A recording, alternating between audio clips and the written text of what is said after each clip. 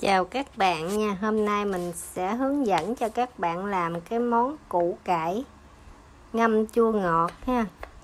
Tốt cho phổi nè, mấy người bị F0 mới hết á, mình ăn cái món này vô nó nó lọc sạch sẽ phổi của mình ha. Cái củ cải trắng này nó trị ho á các bạn. Giờ củ cải trắng mình mua về mình gọt sạch, rửa sạch Rồi bây giờ chúng ta sẽ sắc sắc lát mỏng mỏng, tầm 2mm được rồi nha các bạn. Đừng có dày quá, đừng mỏng quá cũng không ngon ha. Rồi mình cho vào đây một muỗng canh muối ha các bạn. Rồi mình chờ cho nước nó chảy ra tầm 30 phút thôi các bạn, đừng cho nó hết có đắng nha. Với hết cay nè trong vòng 30 phút nó ra nhiêu nước rồi các bạn? Rồi chúng ta chắc ra, chúng ta rửa sạch lại hai ba nước dắt khô ha. Mình ướp vô đây một muỗng canh xì dầu, xì yếu các bạn.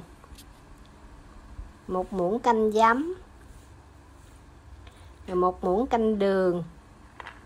Rồi mình cho vô ba tép tỏi, với vài lát gừng, và ớt, và thêm một chút xíu bột nêm các bạn mình trộn đều lên và cho chút tiêu vô. Các bạn ăn cay thì các bạn để ớt nhiều, còn cái này mình bị ép không mới hết đó các bạn mình không nên ăn cay nên mình để một hai lát ớt cho nó đẹp thôi. Tiêu cũng để ít thôi, tại để nhiều thì mình sẽ bị gác cổ, các bạn mình ăn nó không có tốt. Rồi sau khi để tầm một tiếng đồng hồ sau thì chúng ta có thể ăn được rồi các bạn rất là giòn. Thánh ăn rất là ngon các bạn. Nó thơm mùi xì dầu. Mùi củ cải.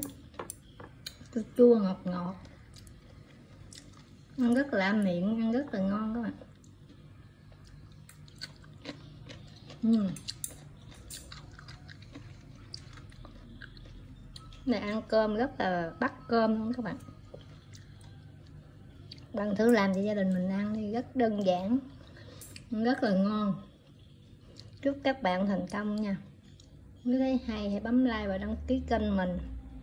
Để lần sau mình ra video mới, các bạn là người nhìn thấy đầu tiên. Tạm biệt các bạn, hẹn gặp lại các bạn trong những video tiếp theo.